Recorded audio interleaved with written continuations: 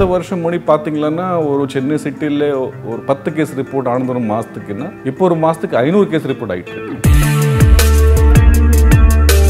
Facebook hacking vishing skimming phishing எல்லாம் ஒழிட்டுருக்கு இருக்கு.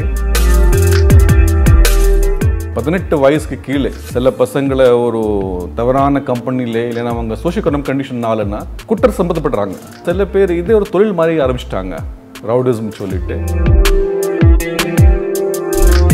சில ஏ ப்ளஸ் கேட்டகரின்னா அவங்க ஒரு குரூப் மாதிரி. இன்னும் தேடுவாங்க யார் சின்ன பசங்க நம்ம குரூப்ல சேரலாம் அதை மாதிரி. சப்ளை செயின் பல்க் எங்கேருந்து வருது? முக்கியமான ஆள் யார் இதில் அவங்கள நம்ம ஐடென்டிஃபை பண்ணிவிட்டு அந்த சப்ளை செயின் கட் பண்ணும் மன்சாரில் ட்ரக் ஆரம்பிச்சிருக்கு.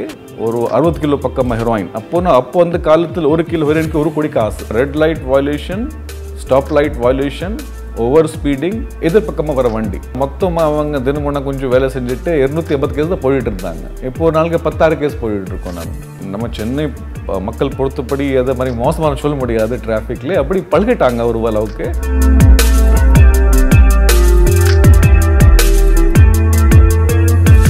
குமுதம் டாட் காம் நேயர்களுக்கு வணக்கம். இன்றைய நேர்காணலில் சென்னை மாநகர போலீஸ் கமிஷனர் திரு சங்கர் ஜிவால் ஐபிஎஸ் நம்மோடு இணைந்திருக்கிறார். வணக்கம் சார். வணக்கம். தமிழ்நாட்டில் ஒரு ஐபிஎஸ் அதிகாரியுடைய மிகப்பெரிய ஆசை சென்னை மாநகர போலீஸ் கமிஷனர் ஆகுது அது ஒரு ஆசை இரண்டாவது டிஜிபி அந்த ஆசை உங்களுக்கு பூர்த்தியாகி இருக்கிறது. ஆனால் சென்னை மக்களுக்காக ஒரு புதிய திட்டத்தை புகுத்தி செய்ய வேண்டும் என்ற ஒரு ஆசை இருக்கும். அந்த ஆசை என்ன?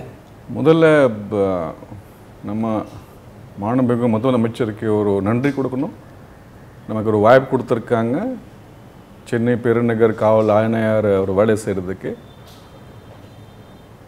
ரெண்டாவது இது நம்ம ஒரு ஜாப் மாதிரி இன்னும் ஒரு போஸ்டிங் மாதிரி இதை எடுக்க போகிறோம் டெஃபினட்டாக இந்த போஸ்ட்லேயே செய்கிறதுக்கு ஒரு நிறைய ஒரு வாய்ப்பு இருக்குது இந்த மாதிரி போஸ்ட்டில் இருந்தாலும் நம்ம காட்ட முடியும் என்னென்ன செய்கிறதுக்கு செய் என்ன செய்ய முடியும். சில திட்டங்கள் போட்டிருக்கோம். அந்த திட்டங்கள் பார்த்திங்கன்னா முக்கியமாக ஒரு ஏரியா ஃபோக்கஸ் என்னென்ன போட்டிருக்கோம். முதல்ல முதலாக crime against women and children அது ஒரு ஃபோக்கஸ் ஏரியா நம்மக்கு. ரெண்டாவது சைபர் கிரைம்ஸ் இப்போ பார்த்தீங்களன்னா நீங்கள் யாரை ஒரு ஆன்லைன் கம்ப்ளைண்ட் கொடுத்துக்கலாம் நம்ம போலீஸ் வெப்சைட்லேயே சிசிடிவிஎஸ்ல நேரடா ஸ்டேஷன் போக தேவையில்லையா? ரெண்டாவது national cyber crime reporting portal அங்கே கம்ப்ளைண்ட் கொடுத்துடலாம். One double five two six இருக்குது அதில் கூப்பிட்டு கொடுத்துடலாம். நேஷ்னல் நம்பர் இருக்குது ஸோ ஒரு எக்ஸ்போனேஷியல் ஜம்ப் இருக்குது பத்து வருஷம் முன்னாடி பார்த்தீங்கன்னா ஒரு சென்னை சிட்டியில் ஒரு பத்து கேஸ் ரிப்போர்ட் ஆனது ஒரு மாதத்துக்குன்னா இப்போ ஒரு மாதத்துக்கு ஐநூறு கேஸ் ரிப்போர்ட் ஆகிட்டுருக்கு ஸோ அதில் ஒரு நம்ம ரெண்டாவது ஃபோக்கஸ் ஏரியா அதுக்கான அதுக்கு ட்ரெயின் மேன் பவர் டூல்ஸ் வேணும் சில மூணாவது ஃபோக்கஸ் ஏரியா நமக்கு சோஷியல் மீடியா இன்றைக்கி பார்த்துருப்பீங்க நீங்கள் நிறையா Facebook hacking vishing skimming phishing எல்லாம் ஓடிட்டுருக்கு. அதில் எஜுகேஷன் ஃபார் எவ்ரிபடி எப்படி இதை பற்றி நம்ம அவங்களுக்கு த தகவல் தெரியப்படுத்தலாம்? அப்போது அப்போ. இப்போ பார்த்தீங்களா சமீப காலத்தில் நமக்கு ஒரு ஸ்டேட் பேங்க் ஆஃப் இந்தியாவிலே எஸ்எம்எஸ் மூலியமாக ஒரு உங்களுக்கு லிங்க் வரும். நீங்கள் லிங்க் டச் பண்ணிங்களான்னா தானாக ஒரு டன்லிங் ஆரம்பிச்சுட்டு அப்புறம் ஓடிபி ஏதாவது தேவையில்லையா? தானாக அவங்களுக்கு மொபைல் பேங்கில் பணம் எடுக்கிறாங்க. முதல்ல ஓடிபி தேவை இருக்கும். நம்மளை யோசனை பண்ணோம் இதை பற்றி நம்ம சொன்ன ஒரு பரப்பராக இருப்ப மாதிரி சொல்லிட்டு அப்போ கூட நம்ம கொடுத்தோம். எஜுகேஷன் கொடுத்தலாம் எல்லாருக்கும். இதுக்கு சில டூல்ஸில் தேவை இருக்குது ஒரு ட்ரெயின் மென் பவர் தேவை இருக்குது அது நமக்கு மூணாவது focus area fourth focus area நமக்கு ஜுவனைல் டெலிங்க்வென்சி இதில் பதினெட்டு வயசுக்கு கீழே சில பசங்களை ஒரு தவறான கம்பெனிலே இல்லைன்னா அவங்க சோஷியல் எக்கனாமிக் கண்டிஷன்னாலன்னா குற்றம் சம்மந்தப்படுறாங்க அதுக்கு அவங்களுக்கு ஃபோக்கஸ் பண்ணிவிட்டு ஒரு ரீஹாபிலிட்டேஷன் ஒரு இன்னொரு வாய்ப்பு கொடுத்த மாதிரி இருக்கணும். அடுத்த ஃபோக்கஸ் ரவுடி எலிமெண்ட் கொஞ்சம். ஒரு அப்படி ஆயிடுச்சு எதனா சில ஹுஷ் எக்கனாமிக் ஃபேக்டர்ஸ் இருக்குது அவங்க பியர் குரூப் ப்ரெஷர் இருக்குது அப்படி போக போக சில பேர் இதே ஒரு தொழில் மாதிரி ஆரம்பிச்சிட்டாங்க ரவுடிசம் சொல்லிட்டு. அதை நமக்கு ஒரு ஃபோக்கஸ் ஏரியா எப்படி க கட்டுப்பாடு பண்ணோம் அதுக்கு ஒரு ஸ்ட்ராட்டஜி போட்டுட்ருக்கோம். டிராஃபிக் மேனேஜ்மெண்ட் அப்புறம் ஒரு ஃபோக்கஸ் ஏரியா நமக்கு சிட்டி பொறுத்தபடி. டிராஃபிக் எப்போவுமே நமக்கு விசிபிள் போலீசிங் பொறுத்தபடி அதை ஒரு முக்கியமான நமக்கு எவ்வளோ பண்ணோன்னா டிராஃபிக் பாதிச்சுன்னா அடுத்த சிட்டியில் சரியாக இருக்கு இல்லையா மாதிரி யோசிடுவாங்க இதெல்லாம் பார்க்கும்போது இது நமக்கு ஃபோக்கஸ் ஏரியா முதல்ல ஆரம்பிச்சிருக்கோம். இதற்கு ஒரு strategy long term vision short term vision மாதிரி பண்ணிட்டு ஒரு செயல்படுத்திட்டு இருக்கோம்.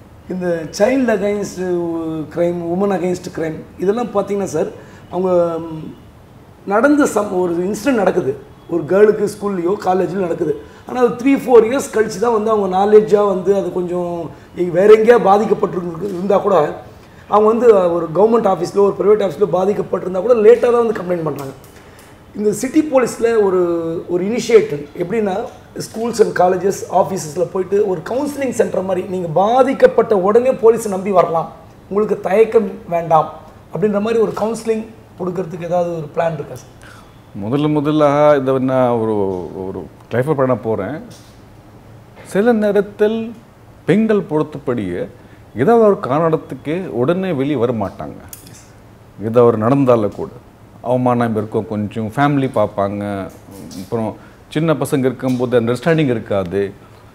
ஸோ மூணு வருஷம் ஆயிடுச்சு ஏழு வருஷம் ஆயிடுச்சு பத்து வருஷம் ஆயிடுச்சு. அப்போ ஒரு கம்ப்ளைண்ட் கொடுத்தா நம்ம ஹேண்டில் பண்ண போகிறோம் கண்டிப்பா. இப்போ கூட நீங்கள் பார்த்துருப்பீங்க சில போக்சோ கேசஸில் ஈவன் டீச்சர் ஸ்கூல் டீச்சர் நம்ம கோச்சஸ் எல்லாம் பத்து வருஷம் கழிச்சு கம்ப்ளைண்ட் எடுத்துட்டு ஆக்ஷன் எடுத்துட்டு இருக்கோம். எஸ் போக்சோ பொறுத்தபடி நாலு விதமான அவங்க நீங்கள் சொன்ன விஷயம் கரெக்ட் தான். அதுக்காக இப்போ மாண்புமிகு முதலமைச்சர் அவங்கள இந்த விஷயத்தில் கலந்துட்டு ஒரு standard standard operating procedure ready பண்ணியிருக்காங்க ஸ்கூல் பொறுத்தபடி.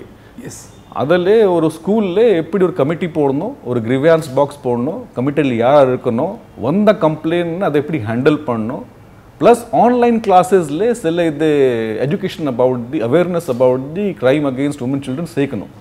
இது இருக்குது இது தவிர நம்ம பொறுத்தபடியே இது ஒரு இன்ஸ்டியூஷனல் மெக்கானிசமில் போலீஸ் ஸ்டேஷன் இருக்கிறாங்க. குறிப்பிட்ட டெப்டி கமிஷனர் லெவல்லே க்ரைம் அகெயின்ஸ்ட் உமன் இருக்கிறாங்க. ஸோ அவங்க பார்க்குறாங்க. அது இதுக்கு ஒரு முறைப்படி இருக்குது. சைல்டு வெல்ஃபேர் கமிட்டி இருக்குது நாலு விதமான அவங்க கம்ப்ளைண்ட் கொடுக்கலாம். Women help line one eight one ஓடிட்டு இருக்கு நிறைய கம்ப்ளைண்ட் வருது அதில். நம்ம ஒரு ஹெல்ப் லைன் வச்சுருக்கோம். ஒன் ஒன் டூ மூலியமாக நீங்கள் கம்ப்ளைண்ட் பண்ணிக்கலாம். என்ஜிஓஸ் மூலியமாக கம்ப்ளைண்ட் பண்ணிக்கலாம். தானாக வரலாம். நாலு விதமான கொடுத்துருக்கோம் இதில். இன்னைக்கு இது பார்த்தீங்களா? நமக்கு அஞ்சு ஹோம் இருக்குது உமன் ஹோம் ஃபர்ஸ்ட் வந்தார டக்குன்னா எங்கே அவங்கள அனுப்பலாம். எஸ் வீட்டு திரும்பி வீட்டுக்கு அனுப்ப முடியாது.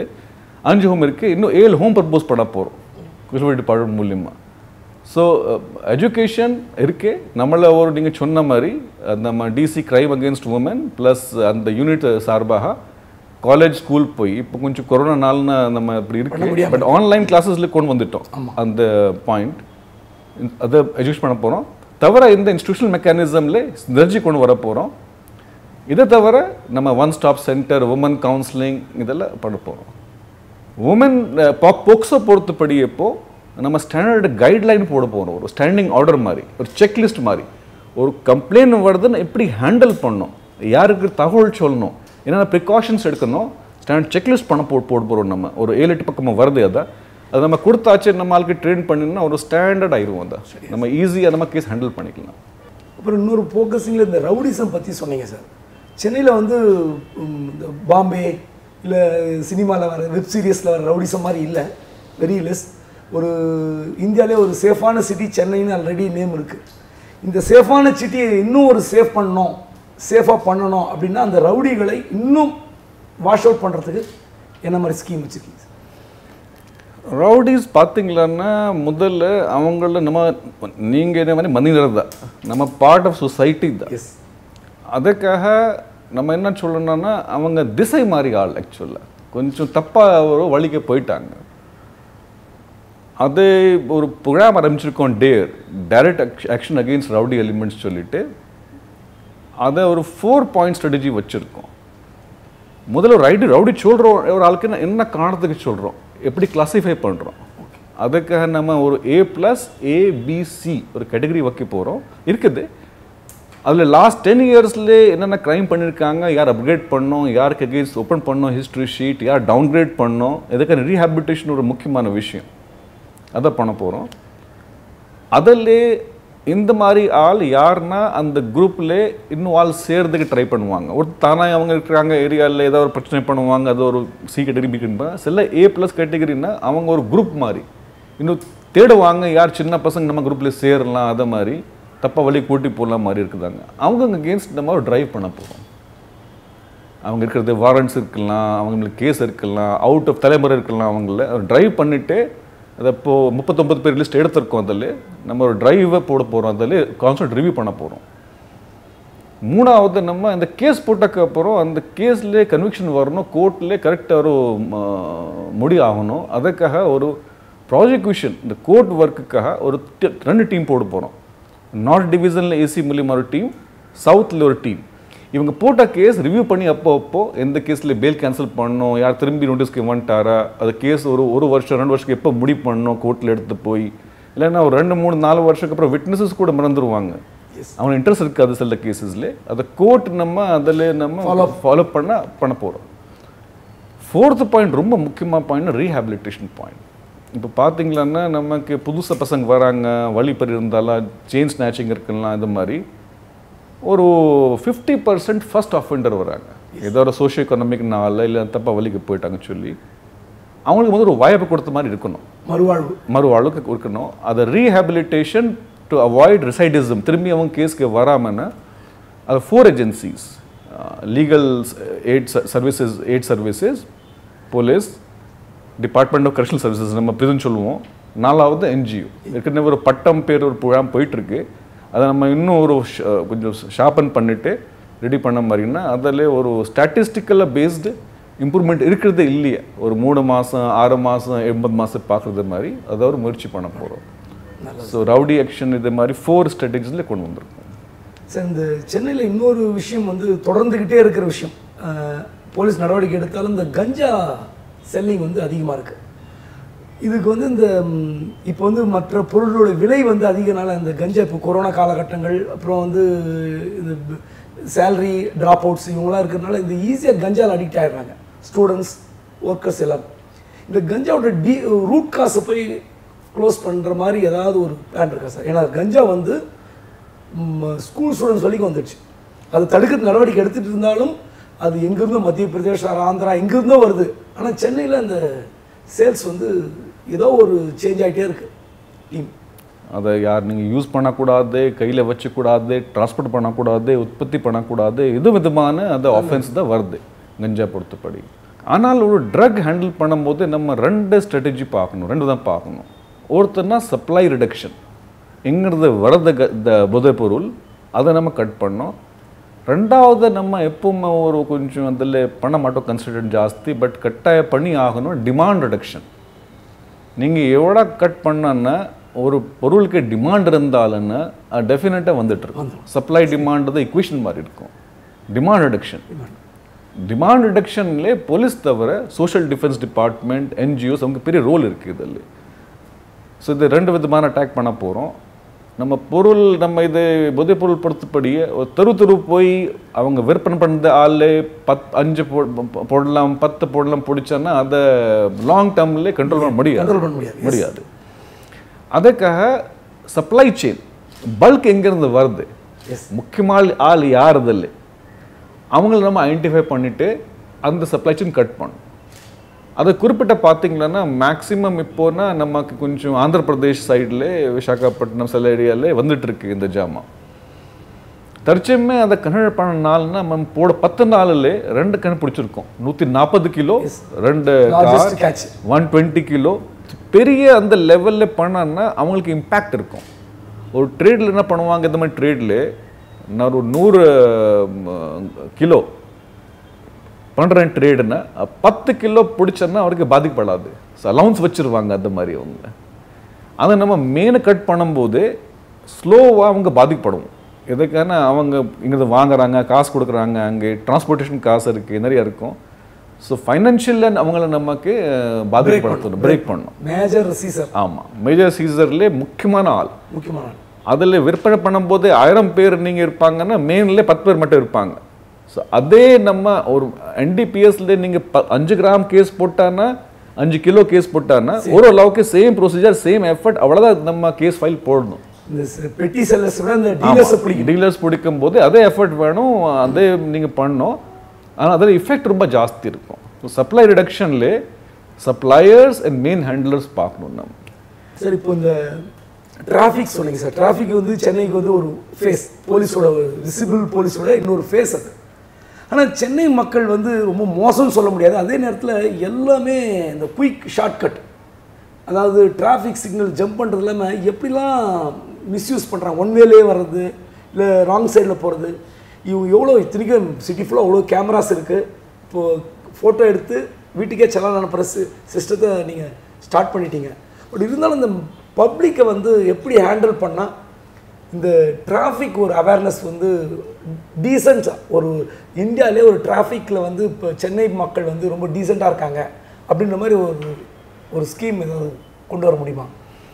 நீங்கள் எல்லாம் நடந்து பார்த்தீங்களான்னா அவங்க இந்த போலீசிங் பற்றிய பெட்ரோல் போலீஸ் பெட்ரோல் பற்றிய டிராஃபிக் பற்றிய ஸ்கூல்லே கொடுத்துருவாங்க அவேர்னஸ் அங்கே ஆரம்பிச்சிருவாங்க ஸ்கூல்ல ரெண்டாவது அஃபென்ஸ் பண்ணான்னா அதுக்கு டிஃபரன்ஸ் ரொம்ப ஜாஸ்தி இருக்கும். நீங்கள் சின்ன ஆஃபீஸ் பண்ணிட்டீங்களான்னா அங்கே உங்கள் இன்சூரன்ஸ் ப்ரீமியம் லிங்க்டு இருக்கும்.